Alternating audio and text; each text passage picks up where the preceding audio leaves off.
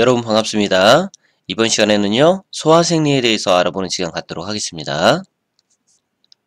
자, 먼저 위벽세포의 종류와 기능에 대해서 알아보도록 하겠습니다. 어, 우리 위 안에 보면 위벽이 있고 그 안에 있는 여러 가지 종류의 세포들이 있습니다. 근데 그 세포들이 각각 기능이 중요하면서도 어, 매우 구분이 되기 때문에 이 시간에 한번 잘 살펴보도록 할게요. 자, 먼저 이제 점액세포라는 종류가 있고요. 그 다음 으뜸세포, 벽세포, 그 다음 쥐세포, 뭐, 이 정도 종류로 볼 수 있는데요. 각각을 살펴보면. 자, 먼저, 어, 표면 점액세포와 목점액세포, 이런 두 가지 종류가 있습니다. 여기 보시면, 어, 표면 점액세포가 말 그대로 표면 쪽, 이쪽이 이제 바깥이거든요. 위에 내부 공간이 되는 거죠. 예, 그렇게 돼 있고요. 그 다음 여기 조금 더 깊은 쪽에 있는 것이 목 점액 세포입니다. 조금 더 안쪽에 이렇게 어, 존재하죠. 뭐 표면은 이렇게 말 그대로 바깥쪽에 있고요. 예, 그래서 각각 어, surface mucous cell 또는 이제 목점액 세포는 mucous neck cell이라고 부르게 됩니다. 자, 이것은요, 둘 다 모두 뮤신이라는 점액질을 분비를 해요. 예, 그래서 결국은 위 벽을 보호합니다. 예, 그런데 조금 차이가 있는 게요. 이 목점액 세포는 여기서 이제 기본적으로 산성을 어, 분비하고요. 여기 표면 점액 세포는 알카리성을 분비합니다. 뭐 잠시 후 살펴보겠지만 여기 이제 벽세포라는 곳에서 염산을 분비하거든요. 그렇기 때문에 목점액 세포는 그 근처 비슷한 곳에 있잖아요. 그렇기 때문에 같은 그런 산성을 유지할 수 있도록 어, 산성의 뮤신을 분비하게 되고요. 반대로 표면 점액세포는 이 바깥쪽에 이런 위 내부의 어, 점막들이 산성에 의해서 손상되면 안 되겠죠. 그렇기 때문에 여기 이제 보호하기 위해서 이런 알카리성, 알카리성 점액을 분비함으로써 이 내부에 있는 강한 산성이 위 안쪽에 있는 점막 세포들을 손상시키지 않도록 그렇게 보호해주는 그런 역할을 하게 됩니다. 그래서 이렇게 pH, 즉 산성이냐 알카리성이냐가 굉장히 중요한 차이를 보이는 거죠.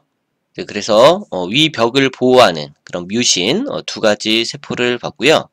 자, 그 다음에 어, 으뜸세포입니다. 으뜸세포, 예, 이름이 이제 주세포고요. 칩셀입니다. 우리 칩이라는 게 굉장히 이제 중요하다, 으뜸이다 그런 뜻이잖아요. 어쨌든 소화기관에서 가장 중요한 건 결국은 음식물을 소화시키는 거죠. 그리고 그 소화시키는 데서 정말 가장 중요한 역할을 하는 것이 또 역시 소화효소, 소화액입니다. 위에서 나오는 가장 중요한 소화효소가 바로 이 펩시노겐입니다. 펩시노겐. 네, 결국 이제 펩신이 되는데 어쨌든 이 펩시노겐이라는 것을 분비하는 세포 그렇기 때문에 우리가 주세포, 으뜸세포라고 어, 부르게 되는 거죠. 어, 위치는 보니까요 가장 이 안쪽에 있습니다. 깊은 곳에서 분비가 되겠죠. 이렇게 위로 점점 올라와서 바깥쪽으로 나오게 되겠죠.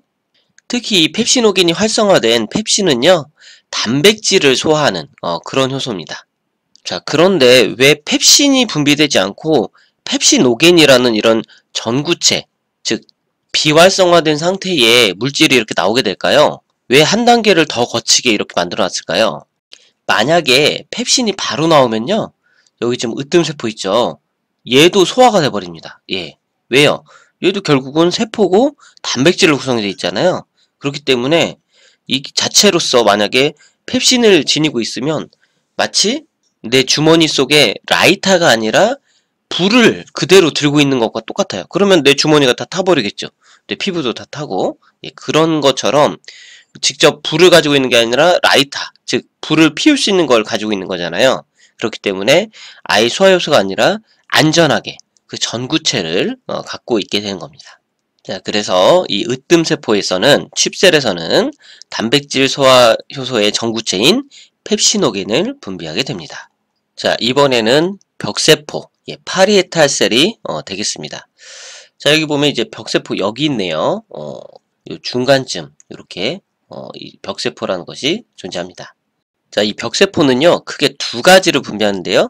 첫 번째는 염산을 분비하고요. 두 번째는 내인성 인자, 인트린식 팩터를 분비하게 됩니다. 어, 크게 두 가지를 분비하는데요. 자, 먼저 염산은요, 이제 HCl이죠. HCl. 자, pH 2로 산성을 유지합니다. 자, pH 2면 엄청나게 강한 산성이에요. 여러분들이 알고 있는 엄청 시다라고 하고 있는 식초 있죠.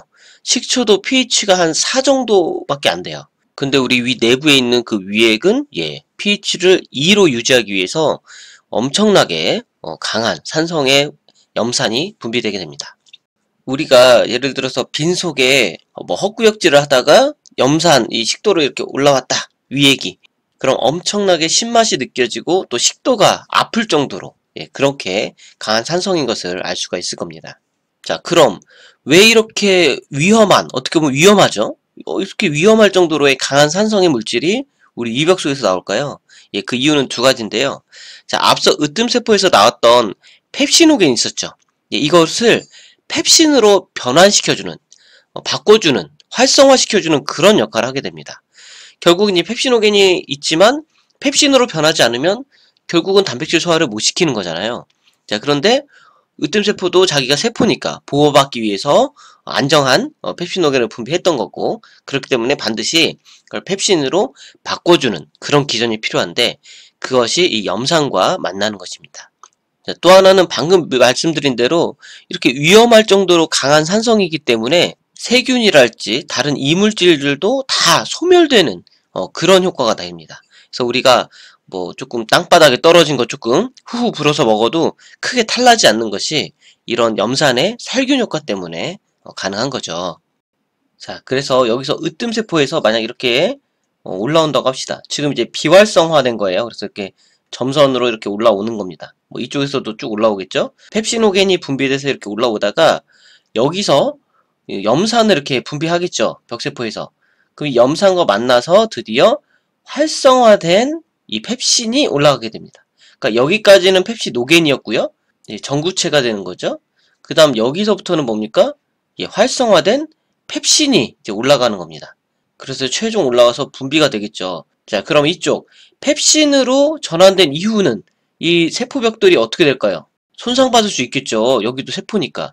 아, 대신 여기서부터는 목점액 세포랄지 표면점액 세포들 이런 것들이 여기를 아 다행히 보호를 해주고 있어요. 그렇기 때문에 여기는 다행히 손상받지 않고 보호받고 있는 거죠. 그러니까 이 안쪽 으뜸세포랄지 그 전구체 부분까지는 이게 보호를 받지 못하기 때문에 여기서는 전구체 형태로 즉 비활성화 상태로 펩신이 아닌 펩시노겐이 분비돼서 이동을 하게 되는 것입니다. 자, 두 번째로요. 예, 내인성 인자라는 게 있죠. 예, 이건 뭐냐면요. 비타민 B12를 흡수시켜 줄 수 있도록 해주는 물질이에요. 즉, 이 내인성 인자라는 것이 없으면 우리가 비타민 B12를 아무리 많이 먹어도 흡수가 되질 않습니다. 그럼 이 비타민 B12가 뭐가 중요하냐? 예, 이게요, 결국은 적혈구를 형성하는데 매우 중요한 역할을 합니다. 이게 없으면 적혈구 형성이 안 돼요. 그래서 우리가 영양 결핍으로 만약에 비타민 B12를 섭취를 못했다고 하면 역시 적혈구가 생성이 안 되겠죠. 그런데 반대로요. 예를 들어서 뭐 위암에 걸려서 위를 대부분 절제해냈다. 예, 그래도 이 내인성 인자가 안 만들어지겠죠. 위벽이 거의 없어지니까. 어, 그 경우에도 비타민 B12 흡수가 당연히 안 됩니다. 그 경우에도 내인성 인자가 없기 때문에 비타민 B12를 흡수를 못하는 거죠. 예, 그런 경우에 우리가 일어날 수 있는 빈혈, 적혈 형성이 안 되니까 빈혈이 일어나겠죠. 그걸 우리가 악성 빈혈이라고 얘기해요. 예, 그래서 악성 빈혈이 아, 심각한 빈혈이다 뭐 이런 게 아니고요. 실제로 비타민 B12가 없기 때문에 생겨나는 어, 빈혈이 악성 빈혈이고요. 실제로 어, 위를 제거하는 수술을 했다 할지 이런 경우에도 악성 빈혈이 나타날 수 있습니다. 자, 다음은 G세포, G셀입니다. 자, 이건 이제 full name은 뭐 gastrointestinal endocrine cell 해가지고 뭐 장 내분비 세포, 위창자 내분비 세포 이렇게 부르는데요. 자, 길어서 따로 밑으로 빼놨고요. 자, 여기 보니까 예, 여기 이렇게 이것도 깊은 쪽에 있습니다. 자, G세포는요, 이제 가스트린이라는 것을 분비하는데요. 이 가스트린은 소화효소는 아니에요. 어, 이거는 호르몬이에요, 일종의. 호르몬이라면 이 위 공간 안으로 뭔가를 분비하는 소화효소처럼 그런 것이 아니라 혈액으로 어, 혈액을 통해서 뭔가 어떤 물질을 분비하는 겁니다. 즉 외분비가 아니라 내분비인데요. 자 어떤 호르몬이냐? 예, 소화효소를 분비하도록 해주고요. 소화 근육을 어떤 이제 수축을 조절해주는 그런 역할을 하는 호르몬이에요. 자, 그래서 우리가 음식을 먹게 되면 결국은 위액이 분비가 돼야 되는데 어떤 기전에 의해서 뭐 때문에 위액이 나오느냐라고 할 때 이 가스트린이라는 이런 호르몬이 분비되기 때문에 위액이 분비되고 조절이 됩니다. 이건 뒷부분에서 조금 더 자세히 한번 살펴볼게요. 자, 이렇게 해서 위 벽에 존재하는 세포들과 그 기능을 한번 쭉 살펴봤습니다. 자, 이번에는요, 위액이 어떻게 분비되는지, 어떻게 조절되는지에 대해서 살펴볼게요. 예, 종류는 다음과 같이 세 가지가 있는데요. 예, 내용을 본격적으로 보기 전에 한 가지 전제를 잘 아셔야 됩니다. 자, 우리가 이렇게 위벽이 이렇게 있는데요. 뭐 예를 들어서 음식물이 이렇게 딱 들어와서 이 벽을 딱 걷는다고 어 음식물이 왔네 라고 해서 여기서 바로 이렇게 위액이 나오거나 이러지 않아요. 예, 중요한 건 앞서 잠시 살펴봤던 호르몬들 어, 이런 것들에 의해서 조절이 됩니다. 즉 위에서 위액이 분비된달지 어, 소화관이 운동을 한달지 이런 것들은요 철저하게 신경에 의해서 어, 조절을 받습니다. 뇌에서 어떤 신경 자극이 다시 이 위에다가 명령을 해줍니다. 그러니까 직접 위가 스스로 결정하고 스스로 작동하는 건 없어요. 결국 철저하게 신경의 지배를 받는다는 거 그걸 먼저 아시고 어, 보도록 하겠습니다. 자, 먼저 뇌상, 세팔릭 페이스입니다. 자, 음식을 맛, 냄새, 생각만으로도 이런 자극에 의해서 분비가 되는 거래요. 우리가 길을 지나가다가 맛있는 치킨 냄새를 맡았어요. 와, 너무 맛있겠어요. 군침이 돌고 심지어 위액이 분비가 됩니다. 그리고 여러분 에피타이저 많이 먹죠. 식사 전에 뭔가 상큼하고 자극적인 걸 먹습니다. 그러면 입맛이 돈다고 하죠. 그러면서 그때도요 입맛뿐만 아니라 이 위액이 어, 잘 분비가 되는 거죠. 심지어는 그냥 아무 냄새 맛도 없고 그냥 생각만 합니다. 아 이거 먹고 싶다 라고 해도 우리가 군침이 돌고 어, 위액이 분비가 되죠. 예, 이런 것들이 뇌상입니다. 철저하게 어떤 생각, 음식이 위에 들어오지 않더라도 예, 분비를 촉진하는 게 어, 뇌상이 되겠습니다. 여기 첫 번째 그림인데요. 어떤 이런 생각만으로 어차피 위는 방금 말씀드린 대로 철저하게 신경계에 의해서 지배받는다고 했잖아요. 그러니까 이런 생각이 자극을 해요. 그대로 다이렉트로 자극을 합니다. 그러니까 평평평평평 예, 이런 위액이 어, 분비되게 됩니다. 자, 이때 아까 얘기했던 이 가스트린이라는 어, 물질이 여기 나오네요. 이게 호르몬이라고 그랬죠? 네, 그래서 이런 것들이 분비되면서 이것이 혈액을 타고 어, 움직이면서 결국 위 점막세포에서부터 이런 소화액을 분비를 하게 됩니다. 예, 다음은 위상, gastric phase가 되겠습니다. 이거는요, 이제 음식을 본격적으로 먹은 이후에 위에 어떤 그 음식물이 자극이 되거나 또는 이제 위가 이제 많이 먹으면 팽창이 되겠죠? 어, 이때 일어나는 현상입니다. 자, 그래서 음식물이 직접 들어와서 위벽을 어느 정도 자극을 한다거나 또 많이 먹어서 이렇게 팽창, 그럼 이제 위가 늘어나겠죠? 자, 그런데 위에도 신경들이 있어요. 그렇기 때문에 그 늘어나는 신경 자극 때문에 이게 신경 자극을 하고 다시 소화액을 분비하는 그런 신경 자극으로 이렇게 오게 됩니다. 역시 이때도 가스트린이랄지 이런 것들이 분비되면서 어, 위액이 많이 분비가 되게 됩니다. 즉 이건 위에서 직접 일어난 일이잖아요. 어, 그렇기 때문에 어, 위상, gastric phase라고 부르게 되고요. 자, 마지막으로 장상, 예, intestinal phase인데요.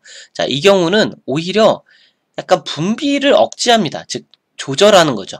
우리 조절이라는 게 많이 나오기도 할 수 있지만 약간 줄이는 게 또 필요하잖아요. 자, 어느 경우냐? 이번 이제 샘창자 내에, 그러니까 위가 아닌 위 바로 다음인 샘창자에 산성 음식물이 왔다거나 또는 어, 지방이 유입됐을 경우 요 경우입니다. 자, 충분히 이제 소화가 일어난 이후에 자, 우리 이제 위 내부는 충분히 산성이 되어 있겠죠. 왜냐면 염산이랄지 이런 소화 요소들이 충분히 나왔기 때문에 엄청나게 산성일 겁니다. 그런데 이 소화된 물질이 산성의 물질이 이 샘창자로 이렇게 밀려 들어온다면 어떻게 되겠어요? 지금 여기 샘창자부터는 약간 이제 중성으로 가거든요. 심지어 약간의 알카리성으로 어, 조성이 됩니다. 자, 그런데 여기 산성이 오면 샘창자를 비롯한 소장들이 손상을 받을 수 있습니다. 그러니까 더 이상 산성이 되면 안 돼요. 그래서 이 샘창자에 산성의 물질이 유입되면 위액이 이제 억제돼야 됩니다. 예, 더 이제 더 산성화되면 여기가 정말 손상이 심해지겠죠. 그렇기 때문에 아 이거 조절합니다. 즉 분비를 억제하게 되는 거죠. 자, 또 하나는 이제 지방 유입이라고 되어 있잖아요. 자, 지방이 이쪽으로 이렇게 들어오게 되면 뭐 쓸기질과 더불어서 지방 분해한 효소인 리파제 이런 것들이 이제 분배되면서 지방 소화를 해야 되겠죠. 어, 그렇기 위해서 이제 본격적으로 샘창자, 소장 이쪽에 소화가 시작됩니다. 그러니까 더 이상 이 위의 소화는 어느 정도 이제 억제가 돼야 되는 거죠. 멈춰줘야 그 다음 단계가 이제 되니까요. 예, 그래서 방금 말한 것처럼 산성의 음식물이 유입됐거나 지방이 유입되는 경우에 샘창자로요. 예, 그때는 반대로 위액의 분비가 억제되는 것입니다. 예, 그래서 이 세 가지 phase, 세 가지 기전에 의해서 위액은 분비되고 조절이 되겠습니다. 자, 여기서 하나만 짚고 넘어가 볼까요? 자, 여기 벽세포에서 아까 염산을 생성한다고 그랬잖아요. 자, 그런데 왜 벽세포는 염산으로 손상되지가 않을까요? 이상하지 않나요? 자, 으뜸세포에서는 펩신이 직접 분비되어 있는 경우에 으뜸세포가 소화돼 버릴 수 있잖아요. 그렇기 때문에 일부러 펩신오겐이라는 전구체로 분비합니다. 자, 안전한 상태로 분비를 한다는 거죠. 그래서 결국은 이 염산과 만나서 활성화되는데 자, 그럼 정작 이 벽세포는 염산을 분비하는데 염산으로부터 안전할까요? pH가 2인 강한 산성이기 때문에 살균 효과까지 있는 이 액체가 어, 왜 어떻게 해서 이 벽세포는 이렇게 안전하게 공격하지 않고 이렇게 손상받지 않을까요? 예, 결론부터 말씀드리면 이렇게 따로 분비를 한대요. 자, 결국은 우리가 우리가 HCl이라고 하지만 결국에 염산이라는 형태로 되어 있다면 H 플러스와 그다음에 Cl 마이너스 이렇게 따로따로 있는 거죠. 물에 녹게 되면 결국은 자, 이때 중탄산인 H2CO3로부터 H가 생산이 됩니다. 수소가 생산이 되고요. 조직액으로부터 direct로 이렇게 들어와서 chloride, 염소가 어, 분비가 됩니다. 자, 그래서 여기 보니까요. 그림에서 여기 수소 있죠. 이 수소는 이제 여기서부터 carbonic anhydrase라는 효소로 이렇게 해리가 돼서 이게 해리 돼서 이렇게 수소가 만들어지는 거고요. 클로라이드, 즉 염소는 또 이렇게 따로 안으로 들어와서 따로 나갑니다. 그러니까 여기 내부만 보자면 여기 내부만 보자면 어, 얘 있죠. 그 다음 얘 있죠. 아 그러면 염산 맞네요. 그죠? 그러니까 여기는 이제 산성이 되는데요. 이게 여기 세포 내에서는 따로따로 만들어져요. 어, 따로따로 만들어지다 보니 이 안에서는 이렇게 강한 산성이 아닌 겁니다. 그래서 다행히도 이 염산을 생산하는 세포임에도 불구하고 염산으로부터 직접 손상을 받지는 않게 됩니다. 자, 다음은 포도당이 흡수되는 기전을 간단히 살펴볼 건데요. 자, 여기 포도당, 글루코스가 있네요. 자, 글루코스가 지금 여기가 창자 내부예요. 그러니까 음식물이 이제 지나가는 길인 거고. 자, 이쪽이 이제 혈관입니다. 혈관. 그러니까 이 혈관으로 들어가야만 우리가 아, 흡수됐다라고 하는 거죠. 우리 몸으로. 자, 그러면 이 글루코스가 이렇게 옵니다. 자, 그런데요. 이 글루코스가 혼자 단독으로 흡수되지 않아요. 반드시 뭐가 필요합니까? 예, 나트륨이 필요합니다. 이 나트륨. 그래서 이 나트륨이 같이 들어와야만 결국은 이렇게 흡수가 될 수 있어요. 그래서 나트륨은 나트륨대로, 글루코스는 글루코스대로 이렇게 흡수가 되죠. 즉, 글루코스는요, 이 나트륨이 없이는 흡수가 되지 않습니다. 그래서 반드시 이 나트륨이 필수적이에요. 근데 이 나트륨이 결국은 어디로부터 오죠? 보통? 예, NaCl이죠. 예, 소금입니다. 소금. 예, 소금을 우리가 그렇기 때문에 먹게 됩니다. 자, 그런데요. 이제 나이가 들고 노화가 되면 아무래도 소화 흡수 능력이 떨어지겠죠. 즉, 이 글루코스 굉장히 우리 몸에서 중요한 우리가 움직이는 모든 에너지를 생산하는 이 글루코스가 더 필요한 시기임에도 불구하고 오히려 흡수 능력을 떨어져서 글루코스 흡수가 더 안 됩니다. 자, 그러면 어떤 것에 도움이 필요합니까? 네, 이 나트륨의 도움이 많이 필요해요. 그나마 이 나트륨이라도 많아야 이렇게 동시에 흡수가 되기 때문에 이 글루코스가 조금이라도 더 흡수가 되겠죠. 그래서 할아버지 할머니들이 아, 음식 보고 아 이거 되게 싱겁다라고 하시는 것이 단순히 입맛이 변해서 그런 것이 아니라요. 이렇게 내가 생리적으로 내 몸이 포도당을 많이 흡수를 해야 되니 자연스럽게 이렇게 NA를 나트륨을 요구를 하는 겁니다. 그 내 몸이 요구하는 거예요. 그렇기 때문에 음식이 자꾸 싱겁게 느껴집니다.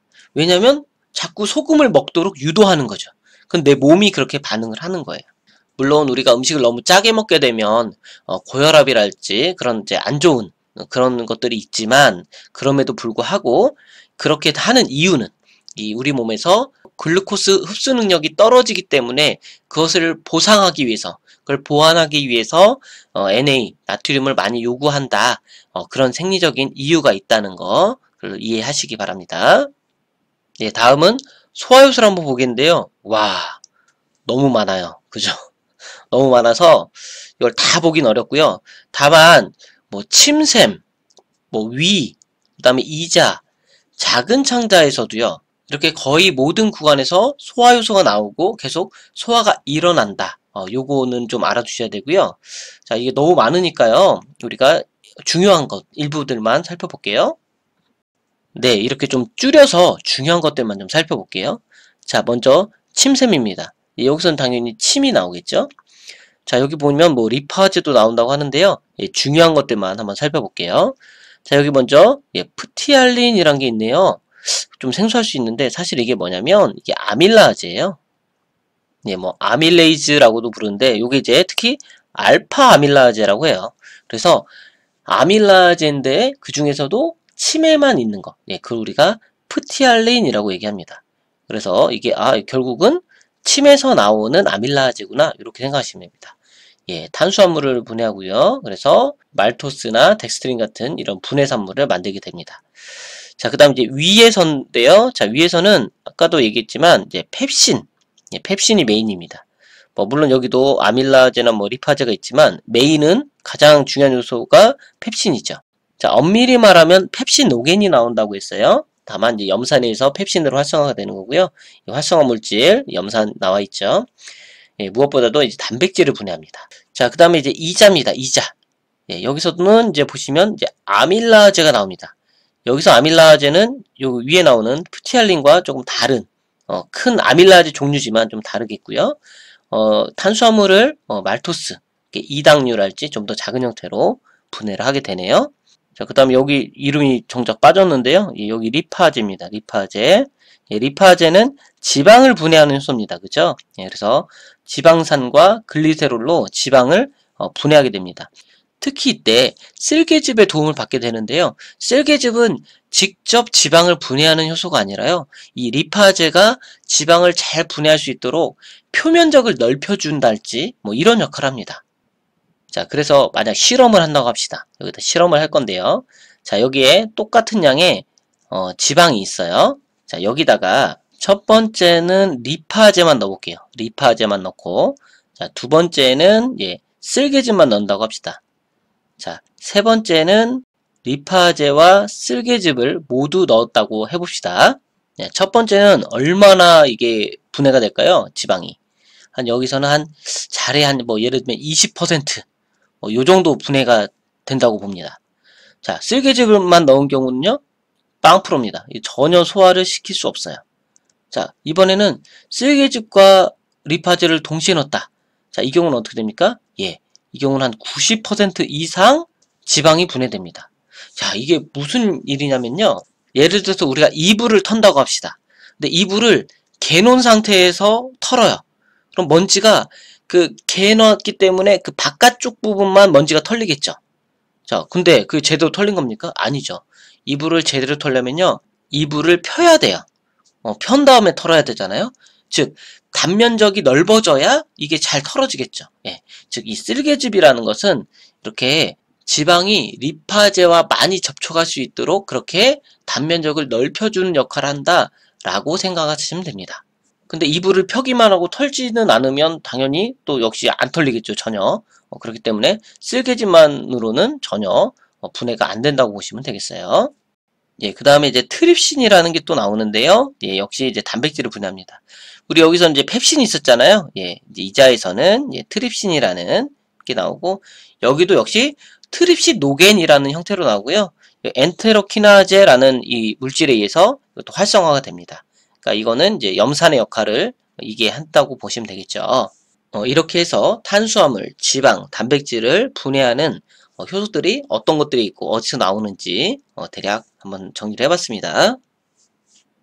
자, 그럼 우리가 이번에는 어, 이렇게 세 가지의 주 영양분이 어떻게 분해되는지 한번 대략 한번 살펴볼게요. 자, 먼저 이 탄수화물 아밀라제, 프티알린 나왔었죠? 어, 그래서 여기서 일부 분해가 되고요. 쭉 내려와서 이제 위에서는 거의 스킵이고 이 샘창자 아까 이자에서 나오는 아밀라제 있었죠? 예, 요것이 주로 많이 분해를 합니다. 이당류가 되고요. 자, 그 다음에 장에서 쭉쭉쭉 돌면서 가장 작은 사실 이거 잘못 나왔거든요. 단당류거든요. 다당류가 아니라 단당류입니다. 단당류. 그래서 하나짜리 최종적으로 어, 분해를 어, 하게 됩니다. 네, 다음은 지질, 지방입니다. 뭐 우리 침에서도 리파제가 조금 나온다고는 했지만 사실 어, 입이나 위에서는 거의 안 되고요.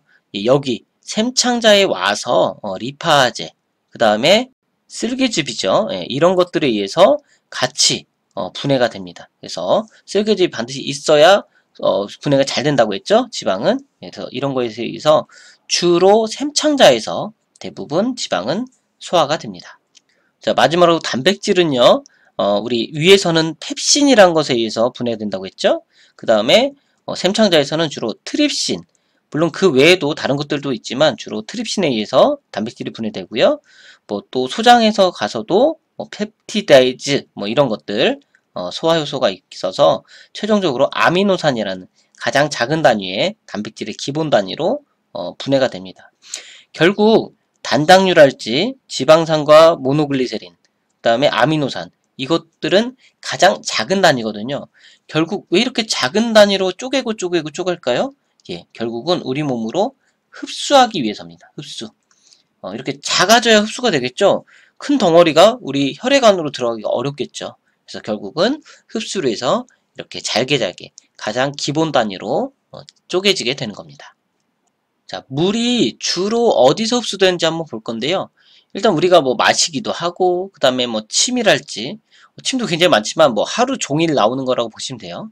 일단 뭐 위액이랄지 뭐 여러 가지 우리 몸에서도 이렇게 많은 액체들이 분비가 됩니다. 자, 근데 이게 어디로 거의 다 흡수가 되느냐 이걸 볼 건데요. 자, 일단 기본적으로 뭐 여기 나오진 않았지만 위 벽으로도 뭐 일부 흡수가 되기도 합니다.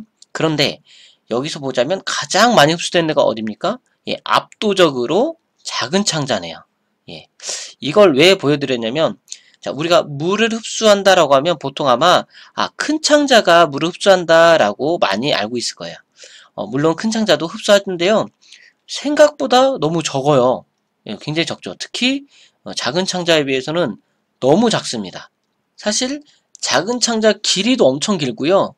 이 미세육모랄지 이런 것들에 의해서 단면적도 엄청 넓어요. 그렇기 때문에 이 소장에서 음식물들이 쭉 이동하면서 계속 영양분도 흡수되지만 동시에 물도 같이 흡수되게 됩니다.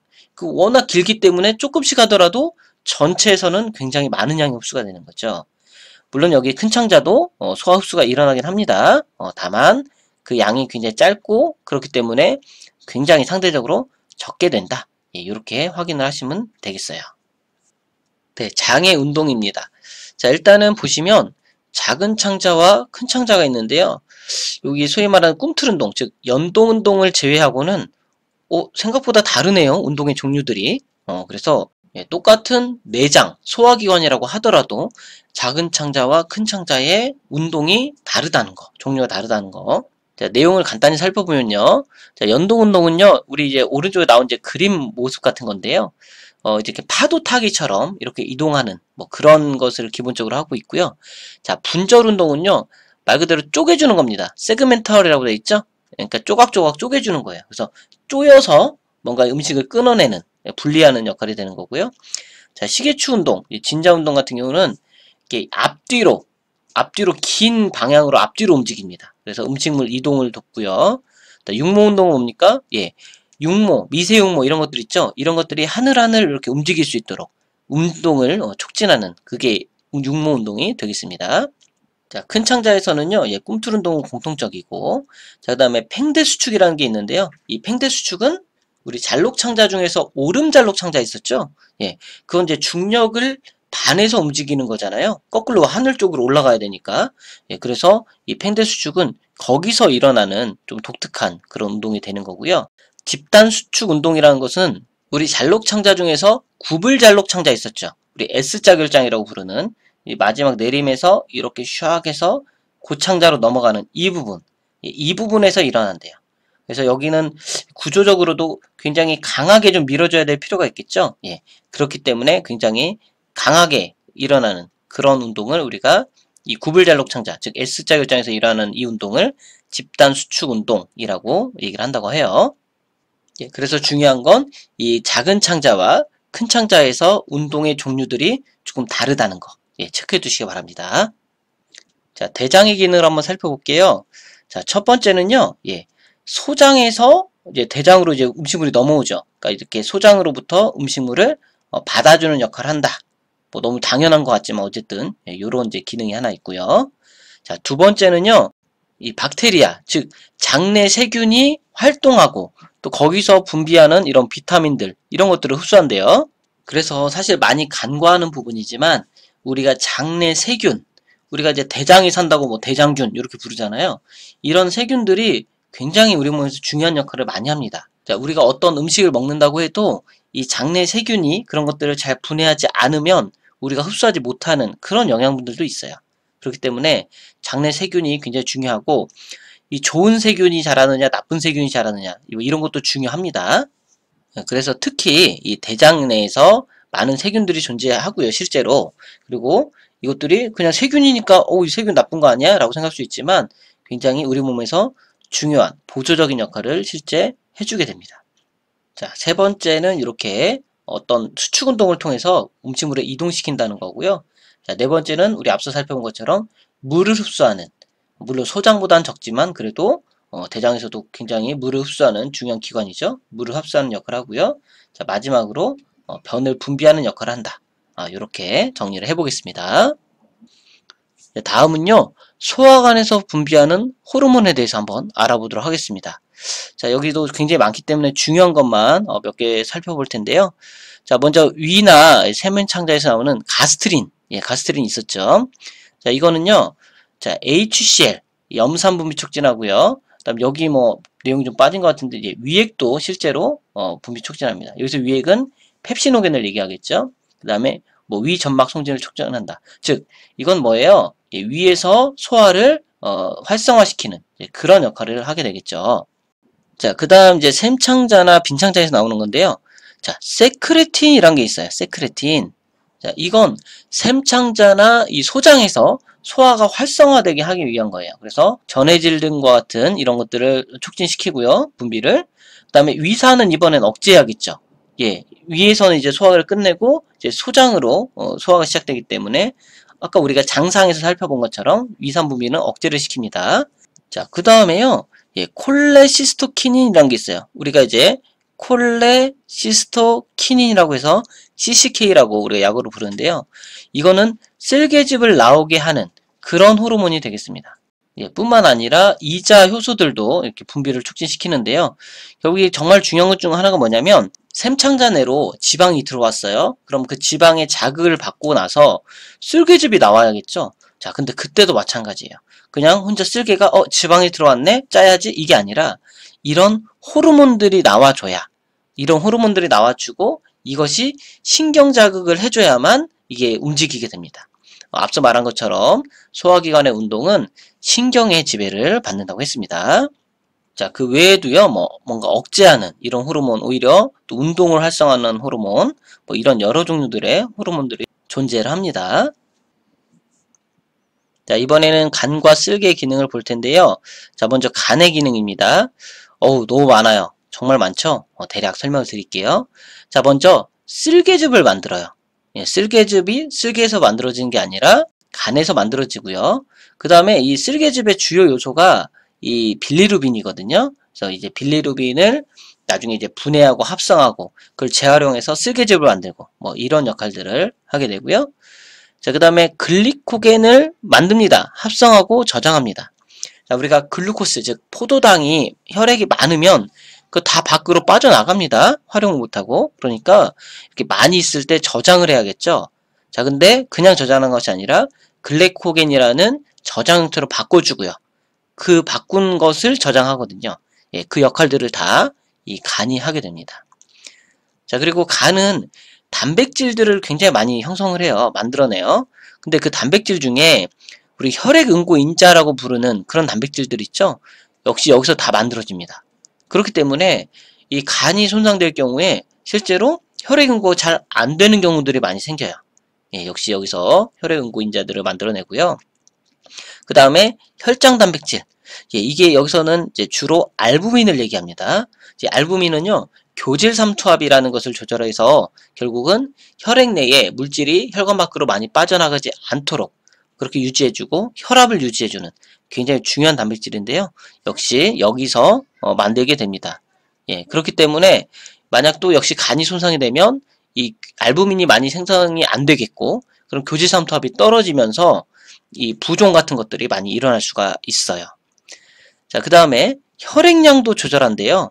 어, 근데 여기서 생산이란 게 이렇게 돼 있는데 사실 간에서도 혈액을 생산을 한 때가 있습니다. 그게 주로 이제 태아기 때예요. 태아기 때. 어, 그렇기 때문에 제가 가로를 쳐놨고 우리 성인이 돼서는 어, 혈액을 많이 저장하는 굉장히 간이 큰 어떤 기관이잖아요. 그래서 우리가 비장이랄지 지라 어, 이쪽이랄지 간에 혈액량이 많이 저장이 돼 있습니다. 그래서 어, 필요할 때 더 많이 공급해주고 뭐 이런 역할들을 하게 되는 역할로 하고요. 자, 그 다음에 요소를 형성하는데요. 자, 요소는 자, 우리가 이제 단백질을 섭취하게 되면 그것이 이제 분해되면서 암모니아나 요산 뭐 이런 형태로 형성이 되거든요. 근데 문제는 이 암모니아 같은 이런 것들이 독성을 가지고 있어요. 그래서 이런 암모니아들이 우리 혈액을 돌아다니게 되면 이곳저곳 돌아다니면서 손상을 주는 거죠. 독성이 있기 때문에. 그러니까 어때요? 안전한 형태로 밖으로 빠져나가겠죠. 그래서 간에서 이 요소로 합성을 해줘요. 요소로 바꿔줍니다. 즉 독성이 없는 형태로 바꿔주는 거죠. 그래서 우리 어, 신장, 우리 콩팥으로 이렇게 빠져나가게 됩니다. 예, 그래야 우리 콩팥도 안전하고 우리 몸도 안전하겠죠. 그래서 아주 그런 중요한 역할도 해주고요. 그 다음에 해독작용. 우리가 외부에서 이물질 뭐 잘못된 걸 먹거나 또 우리가 약도 먹잖아요. 약. 약도 우리가 먹어서 우리 몸에 당연히 아픈 곳을 치료도 해주지만 그게 계속 남아있다면 우리 몸에 또 다른 부작용으로 작용할 수 있죠. 그렇기 때문에 빨리 그것을 분해해서 바깥으로 내보내야 됩니다. 약효가 끝나면. 어, 그리고 그 외에도 또 독성작용을 띠고 있는 그런 것들을 분해함으로써 해독작용을 해주게 됩니다. 와, 정말 간이 손상되면 우리 몸이 남아나질 않을 정도로 굉장히 중요한 역할들을 많이 합니다. 자, 이제 쓸개는요, 어, 좀 단순하죠. 예, 쓸개즙을요, 저장하고 농축하고 분비시킵니다. 즉, 앞서 이 간에서 만들어진 이 쓸개즙이요, 어, 이렇게 만들어지면 일단 저장을 하고요. 그 다음에 한 10배 가까이 농축을 한대요. 쫙 물기를 빼서 농축을 하고, 그 다음에 이제 앞서 봤던 우리 CCK나 이런 것들에 의해서 어, 자극이 오면 예, 쭉 짜내는 그런 분비를 하게 되는 것입니다. 예, 마지막으로 이자 생리 한번 살펴볼 텐데요. 자, 이자는 독특하게도 외분비와 내분비를 동시에 하죠. 예, 그죠? 자, 이때 외분비라는 것은 결국은 예, 소화 효소예요. 소화 효소. 예, 소화 효소가 됩니다. 그래서 아밀라제, 그다음에 트립시노겐, 리파제. 물론 이 트립시노겐은 결국 트립신이 되죠. 예, 그래서 각각 탄수화물, 단백질, 지방을 분비하는 그런 효소가 되겠고, 자, 이것들은 여기서 이제 여기서 만들어지겠죠. 어, 이런 뭐 샘과리 세포 이런 데서 만들어집니다. 그래서 이 도관을 타고 이렇게 나옵니다. 예, 이게 외분비예요. 외분비는 이렇게 도관이 있습니다. 전용 관이 있어요. 그래서 이자관으로 분비되는 것이 소화효소, 외분비가 되겠고요. 자, 이번에 내분비입니다. 어, 내분비는요. 자, 여기 보니까 알파세포, 베타세포 이런 게 있어요. 자, 여기 보니까, 자, 여기 보니까 샘과리 세포 이런 것들 사이로 이렇게 뭔가 이렇게 덩어리가 있어요. 마치 중간에 섬처럼 있다고 해서 우리가 이자섬이라고 불러요. 예, 실제로 이렇게 부르고요. 예, 여기에는 이제 글루카곤을 생산하는 세포와 인슐린을 생산하는 세포가 섞여 있습니다. 어, 그래서 우리가 글루카곤을 생산하는 것을 랑게르한스 알파 세포, 그 다음에 인슐린을 생산하는 것을 우리가 베타 세포라고 부르거든요. 그래서 이 알파 세포에서는 글루카곤이 생산이 되고요. 그 다음에 여기 이제 베타 세포, 이 나머지 부분 있죠? 예, 그 알파 세포를 제외한 나머지 부분에서는 이 베타 세포에서 인슐린을 어, 생산을 하게 됩니다. 자, 이 글루카곤은요, 글리코겐 즉 저장 형태를 글루코스로 바꿔줍니다. 그러니까 당으로 바꿨죠? 그러니까 혈당이 증가하게 됩니다. 예, 그렇게 되고요. 그 다음에 반대로 이 인슐린은 혈당을 감소시키는데 이 포도당을 글리코겐, 즉 저장 형태로 바꿔줍니다. 그러니까 포도당 자체는 감소했죠. 그러니까 혈당이 감소하게 됩니다. 예, 이렇게 되고요.